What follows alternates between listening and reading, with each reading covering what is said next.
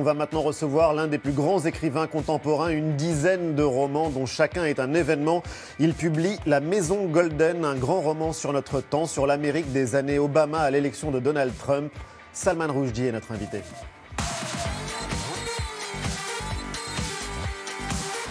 Bonjour. et bienvenue Salman Rushdie. Nous sommes heureux, honorés de vous recevoir. Vous parlez très bien français Hein. Un petit peu Pas si bien. Interview en français ou en anglais alors? Non, vous faites en français, je sais. And I will answer in English. D'accord, vous répondrez euh, en anglais, ce sera mieux. Comme ça, votre nouveau roman, La Maison Golden, ça se passe à New York. C'est l'histoire d'un roi sans couronne, comme vous le décrivez, qui s'installe à New York avec ses trois fils le jour même où est investi Barack Obama. C'est l'histoire aussi de leurs voisins qui rêvent de percer le mystère de cette famille et d'en faire un film. C'est un roman, c'est aussi un conte qui est plein d'émotions, qui est plein d'humour. C'est une réflexion profonde sur notre époque. Et c'est aussi un livre de cinéphile. Il y a énormément de références au cinéma. On se dit que vous auriez pu être juré au Festival de Cannes, peut-être. No, they never asked me. Ils m'ont jamais demandé. Ils vont vous le demander après avoir lu ce livre. Vous auriez aimé être euh, cinéaste? Yes, I've been Oui. J'étais my obsédé life. par les films toute ma vie. Quand on where grandit I à grew up, Bombay, là où j'ai it's a grandi moi, that is c'est possessed une by ville qui est cinema, you possédée par le cinéma. You buy the newspaper in the On morning, achète there are les journaux le four matin, pages of il y a news quatre and there's pages 24 d'informations pages et of movie 24 gossip. pages de ragots sur le cinéma. And everybody loves it, Et tout le monde aime ça. Donc moi j'ai grandi avec ça dans mes veines. Vous auriez pu aussi être créateur de jeux vidéo. On découvre euh, en lisant votre livre euh, que vous avez une vraie connaissance euh, du gaming. I had to find out about it. Il fallait Ouais. que je découvre ce que c'était. actually, it's my children who know about it. C'est les enfants, c'est les vous enfants jouez qui quand le même à savent. Candy Crush. Yeah, no, I, I have played Candy Non, Crush. j'ai but joué à Candy Crush, c'est I vrai. have- I, can't, I don't think I'm very good at Je ne it. pense pas que j'y sois très bon à ce jeu. Ce qui est frappant, c'est que vous réfléchissez dans ce livre aussi sur ce que c'est qu'être un écrivain. Et le narrateur, il euh, se décrit comme un fouineur, un ordurologue, comme euh, celui qui fouillait dans les poubelles de Bob Dylan dans les années 70 pour découvrir le sens de ses chansons. Est-ce que le romancier est toujours un peu un ordurologue? I think that's probably true. Je crois que c'est Ouais. probablement vrai. That's probably, a novelist is everything. A Un novelist romancier, c'est tout. C'est un you know, voleur, un traître. Et comme vous le savez, Philip Roth le grand écrivain américain, a dit un jour que si on a un romancier dans la famille, c'est un désastre. Et votre famille, du coup, vit ça aussi comme une catastrophe. Oui. Oui, ils le sentent comme ça, oui. My mother used to tell me Ma mère me My racontait. Ma mère était vraiment quelqu'un qui avait beaucoup de, de potins. Elle savait And tout sur tout le monde. Elle me les racontait. after a while, Et après un moment, "I'm gonna elle m'a dit talking to you faut que j'arrête de te because parler. you- because you Parce que toi, tu mets ça and dans tes livres. trouble." Et c'est moi qui ai des ennuis. Ce livre, c'est aussi une réflexion puissante sur les États-Unis d'aujourd'hui. Et ce qui est frappant, ça va parler à tout le monde et aux plus jeunes. Pour raconter l'Amérique, il faut la raconter à travers les comics. Qu'est-ce que les comics, qu'est-ce que les bandes dessinées racontent de- de- des États-Unis d'aujourd'hui? One of the things that the narrator of the book Une des says choses que dit le narrateur this dans is le not a livre, time of c'est que ce superheroes. n'est plus l'époque des super-héros. even though the movies are full of them, Même si les films en sont pleins, this is really not a time of- ce n'est heroes plus of l'époque des héros but it de is ce a genre, time of mais c'est le moment des super méchants. Et d'ailleurs, c'est vrai que pour le coup, dans les États-Unis d'aujourd'hui, Batman a disparu, mais c'est le Joker qui a triomphé. Oui, C'est lui qui a gagné. And he runs for president and he wins. Et, et veut être président et il gagne. Exactement. Pour avoir une idée du personnage qui se cache derrière le Joker, on va pas trop en dire. On a compilé des éléments qu'on trouve dans votre livre. Et regardez le résultat. If Ivanka weren't my daughter, perhaps I'd be dating her. You know. When Mexico sends its people, they're not sending their best. They're bringing drugs, they're bringing crime, they're rapists. she she gets out and she starts asking me all sorts of ridiculous questions and you know you could see there was blood coming out of her eyes uh, blood coming out of her wherever The United States will withdraw from the Paris Climate Accord C'est une adaptation de votre livre No, it's so C'est le film. Non, c'est tellement déprimant de venir des États-Unis à Paris et de voir encore ce type. Partout dans le monde, Salman Rushdie. Hein? Partout dans le monde. I know, you can't get Oui, je sais, on ne peut pas l'y échapper. And he, the only difference in La my seule différence dans mon roman, c'est qu'il a des cheveux verts. On en fait trop? Uh, you know, the, the, the problem with Le problème avec Trump, he is more bizarre than c'est qu'il est encore plus bizarre You que quoi so- que ce soit auquel on peut penser ou imaginer. Quand j'ai écrit ce roman, j'ai pensé à ce personnage du Joker. C'était le seul élément surréaliste dans un livre qui est un roman surrealist réaliste. now. Mais maintenant, c'est plus more like surréaliste. Il est plus comme quelqu'un qui vit like dans la rue. Donc c'est comme du socialisme réel maintenant. Vous qui êtes un romancier qui avez aimé euh, inventer et décrire des personnages hors normes, vous avez là quelqu'un qui ne respecte pas les codes, qui ne ressemble à rien. Ça ne vous, ça vous déplaît, mais ça, je peux comprendre qu'en tant que citoyen ça vous déplaise, mais c'est aussi enrichissant de voir quelqu'un qui ne respecte aucun code, aucune tradition et qui invente quelque chose. But you know, the thing about Trump is that Vous there's savez, no au sujet de personality Trump, there. il n'y a pas de personnalité, il y a simplement une performance, un jeu. Donc il est très très difficile à décrire. Il n'y a pas de just an act, personnage, il y a juste un acte, une action. of caricature of himself. C'est une caricature de lui-même. Ce qui est très fort à travers le personnage du Joker, c'est que ça raconte ce qui est devenu l'Amérique d'aujourd'hui.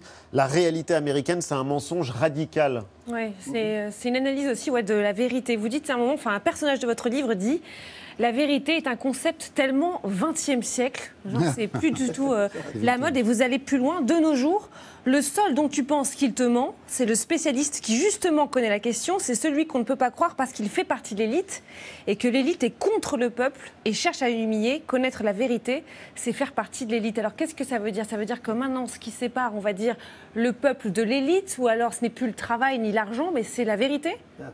Well, you know, one of the things that it's very strange for Ça, a C'est writer très of étrange pour fiction un écrivain de fiction Oui. to become a de defender of the devenir truth. un défenseur de la vérité. C'est vrai. Because I, I make things up for a Moi, j'imagine des choses pour And vivre. Et donc is ce qui there se is passe such an aujourd'hui, attack c'est qu'il y a the une truth telle attaque contre la vérité que les artistes, have to les romanciers really address doivent the vraiment question of- of répondre what à la is the question truth de and what ce qu'est la lie. vérité et ce qu'est un mensonge? On parle beaucoup aux États-Unis du livre de Bob Woodward qui vient de sortir, Fear. Vous, allez le lire et qu'est-ce que vous en pensez? Mais je ne l'ai pas vu, je l'ai pas lu. Mais je pense que je connais tout de ce qui est écrit dedans. Parce que Le livre, ça nous dit ce qu'on a toujours suspecté, mais ça nous donne des faits. Ce n'est pas une surprise pour qui que ce soit que la Maison you know? Blanche soit comme ça. Ça confirme simplement nos pires suspicions. And I know Bob Woodward, Je connais Bob Woodward. Je l'ai he's- rencontré. he's such a serious person. C'est quelqu'un de tellement He's sérieux. so careful and so Il, est- il fait scrupulous. He's tellement attention, il est tellement scrupuleux. C'est pas un But dingue. it, it gives, it gives his words a lot of Ça authority. donne à ces mots beaucoup d'autorité. Vous posez la question de savoir à quoi servent la poésie, à quoi servent les arts, le cinéma dans un monde où le Joker a triomphé. Et puis vous parlez aussi des États-Unis d'aujourd'hui, notamment par exemple des crimes, des crimes de sang, de cette violence et de cette violence euh, raciale. Yes. Vous en parlez pour en dire quoi? Qu'est-ce que vous voulez euh, analyser à Well, I, travers ça? know, I think the thing that is Je crois que maybe more, more frightening than Trump, Encore you know, plus grave que- plus effrayant que Trump, c'est la présence de ce nombre extraordinaire d'armes à feu dans les mains privées. Vous dites dans votre Autant livre les d'armes armes que de gens. Les armes sont vivantes. C'est ce que je voulais suggérer, que les armes à feu sont tellement puissantes, c'est comme s'ils avaient une vie en elles-mêmes. Il y a de la violence armée complètement folle tous les jours. Moi, j'ai passé beaucoup de temps à vivre en Angleterre. Ça ne se produit pas là-bas. Ça ne se produit pas. C'est une grande différence de passer de l'Angleterre à l'Amérique, de vivre dans ce monde fou d'armes. Euh, vous écrivez, Salma Rushdie, au début de votre roman, si l'Amérique veut être ce qu'elle est capable d'être, ce qu'elle rêve d'être, elle doit se détourner de Dieu et se tourner vers le billet vert. Et j'ai trouvé qu'il y avait un homme qui symbolisait ce que vous dites. Il s'appelle Colin Kaepernick, c'est un joueur de football américain euh, qui est devenu célèbre pour s'être agenouillé pendant euh, l'hymne national. Une façon d'affirmer son soutien à la communauté afro-américaine, trop souvent victime de violences policières. Alors c'est un héros pour certains aux États-Unis. C'est un ennemi pour l'Amérique pour d'autres. Nike a choisi d'en faire, la marque Nike a choisi d'en faire son porte-parole de cette cause et à travers sa dernière campagne publicitaire que, l'on voit là. Le résultat, c'est qu'il y a eu à la fois un appel au boycott de la marque, notamment en Louisiane où il y a un maire qui a même appelé qui a souhaité interdire la vente des produits Nike et en même temps, les ventes de Nike ont augmenté. Euh, Est-ce que c'est ça les États-Unis? Est-ce que c'est deux Amériques irréconciliables pour vous? It's a very good e- example C'est un of excellent exemple de la division de la vérité. Vous savez, cette histoire taking a de sport, de sportifs qui s'agenouillent pendant l'hymne national, ça n'a rien à voir avec l'irrespect Uh, pour l'hymne national, ça a à voir protest against avec une manifestation contre la violence, contre des gens de couleur, le racisme fou de l'Amérique. Et to c'est le président qui tente de détourner cela vers quelque chose d'autre. Et ils ont même une pub très drôle. Si vous voulez brûler nos chaussures, voici comment le faire de façon euh, sans problème. Et quand vous avez fini de brûler les chaussures, versez de l'eau dessus.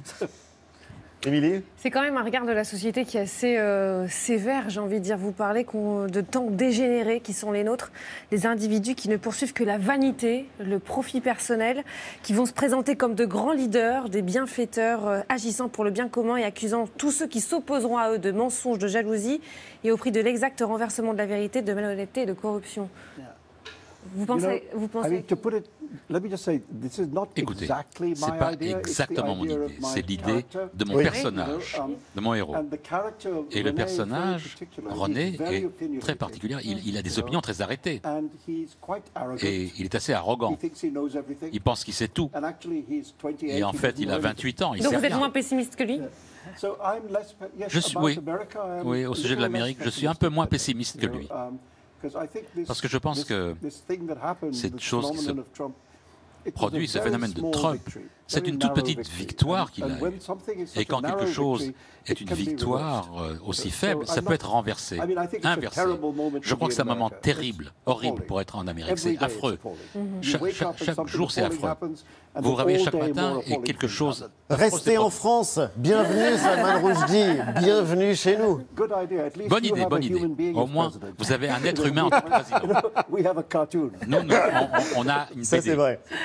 Une caricature. Pauline Alors, votre personnage, Néron, euh, il est convaincu que tout s'achète. Mhm. Il y a une chose qui résiste à ça, et là, il va falloir nous expliquer, c'est le pénis de Napoléon Bonaparte. Qu'est-ce que c'est que cette fascination, Salman Rushdie, pour le pénis de Napoléon Bonaparte? All I can tell you is that Tout it's ce que je peux vous dire, c'est que c'est absolument Eh vrai. newspaper.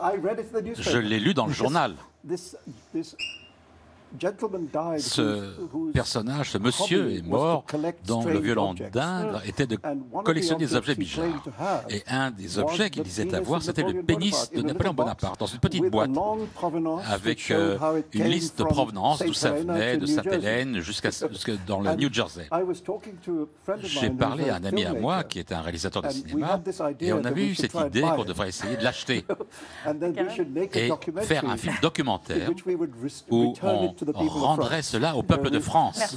We would- we would bring it solemnly On l'apporterait Paris and we would go solennellement to à the Paris, on Invalides irait à and l'hôtel we des would put it Invalides on the et on le tomb mettrait of the sur la emperor tombe de we would l'empereur. say, Et on "Thank dirait merci, return for the c'est Statue of Liberty." merci, un remerciement pour la statue de la liberté. On a essayé, on a it. essayé de l'acheter. But the lady who was Mais la dame qui était sa veuve a- nous a raccroché au nez. So in the end, I just put Donc it in the finalement, je l'ai mis dans le livre. Il y a de l'humour dans le livre, il y a de l'ironie, et notamment par exemple quand vous parlez des réseaux sociaux, comme si vous étiez effaré par l'usage que nous faisons, que tout le monde fait de- d'Instagram, de Twitter. Qu'est-ce qui vous euh, choque là-dedans? Moi, j'ai eu une expérience avec Twitter, j'ai eu I un certain temps. like, I don't know, one and a Je sais pas, j'avais you know, 250 but I 000 don't euh, followers, mais je ne leur parle plus. C'est fini, j'ai arrêté. Jean-Michel, lui aussi. J'en ai pas mal. oui. Il beaucoup. utilise. And I think I'm not sure. Je ne suis pas sûr, mais my opinion changed. mon opinion a changé. Ou est-ce in que quelque Twitter. chose a changé dans But I- Twitter? Je ne suis pas sûr. Mais j'ai le sentiment que c'est devenu un endroit beaucoup plus euh, nearly such a friendly mauvais. environment C'est plus un environnement tellement amical comme ça l'était. And I just thought- I had the Et je me feeling suis dit, j'ai eu le sentiment d'être dans une pièce pleine de gens auxquels je ne voulais pas parler. So then the answer is you leave the Bon, la réponse, ben, on quitte la pièce. C'est euh, le roman d'un New-Yorkais, c'est euh, le roman évidemment de quelqu'un qui est euh, touché par les attentats du 11 septembre, qu'on a commémoré encore cette semaine. Le traumatisme, il est encore toujours palpable à New York? Yeah, I mean, every, Oui. I mean, yes, it was yesterday, and C'était hier, I il y a quelques jours. Toute personne que je connais à New. York était it- vraiment en deuil.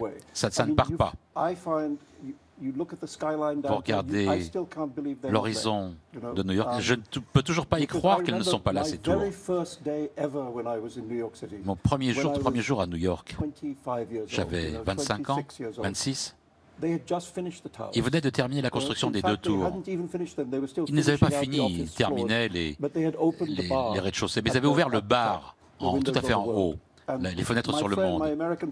Et mon ami américain m'a dit Allons-y, parce qu'il y a une, vue- une vue extraordinaire. J'ai dit D'accord. Il a dit Mais il faut que tu portes un costume et une cravate. Quoi Costume, cravate pour aller dans un bar? Il a dit oui, oui. C'est la règle. Et donc ma première nuit à New York, c'était là-haut. Et pour moi, l'idée qu'elles ne sont plus là, c'est vraiment horrible. Dans ce roman, on voit que le terrorisme frappe partout et pas seulement aux États-Unis, pas seulement en Europe. C'est euh, une menace qui est présente partout sur la planète. Et euh, France 5, justement, consacre un documentaire inédit et va à Daesh. Exactement. Ce sera mardi prochain. Mardi à vous l'avez vu 20h55. Oui, c'est un documentaire qui est signé euh, Kamel euh, Redouani. Il a longtemps travaillé comme grand reporter en Libye. Euh, et c'est à Sirte, en bord de Méditerranée, euh, qui nous emmène pour découvrir comment l'État islamique s'est imposé dans cette ville. Alors, le journaliste s'est retrouvé en fait en possession d'un ordinateur ayant appartenu à un émir qui faisait autorité à Sirte. Il a ramené cet ordinateur en France et pendant un an, les centaines de documents qui ont été trouvés sur ce disque dur ont été analysés et en fait ont permis de comprendre comment fonctionne Daesh, à la fois sur un plan politique avec évidemment une répression sanglante et sur un plan économique avec des habitants spoliés. Regardez cet extrait.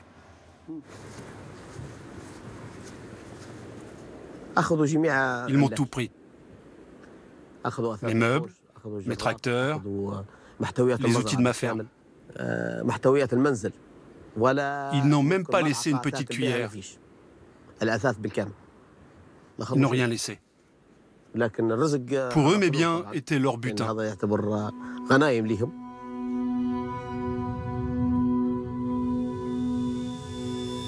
Les pillages se multiplient, à tel point que la population est asphyxiée et ose se plaindre.